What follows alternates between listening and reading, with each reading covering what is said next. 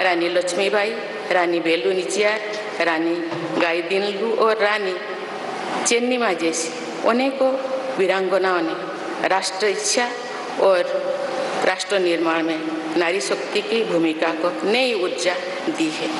संथाल क्रांति, पाइक क्रांति से लेकर कोल क्रांति और भील क्रांति ने स्वतंत्रता संग्राम में आदिवासी योगदान को और सशक्त किया। सामाजिक उत्थान एवं देश प्रेम के लिए धरती व भगवान बिरसा मुंडा जी के बलिदान से हमें प्रेरणा मिली थी। मुझे खुशी है कि आज़ादी की लड़ाई में जनजातीय समुदाय के योगदान को समर्पित अनेक म्यूज़ियम देश भर में बनवाया जा रहा है।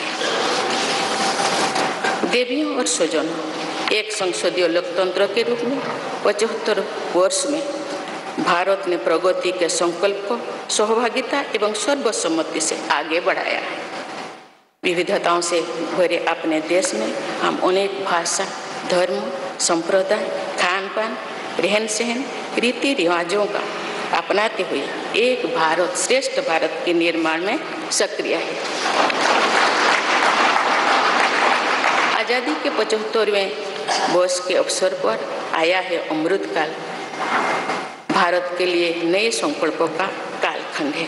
आज मैं इस नए युग के स्वागत में अपने देश को नई सोच के साथ तत्पर और तैयार देख रही हूँ। भारत आज हर क्षेत्र में विकास का नया अध्याय जोड़ रहा है।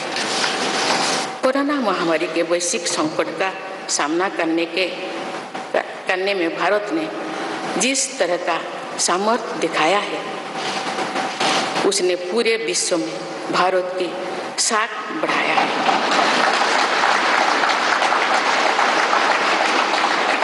हम हिंदुस्तानियों ने अपने प्रयासों से न सिर्फ़ इस वैश्विक चुनौती का सामना किया, बल्कि दुनिया के सामने नए मापदंड भी स्थापित की कुछ दिन में, कुछ दिन पहले भारत ने कोरोना वैक्सीन की 200 करोड़ डोज लगाने का कीर्तिमान बनाया।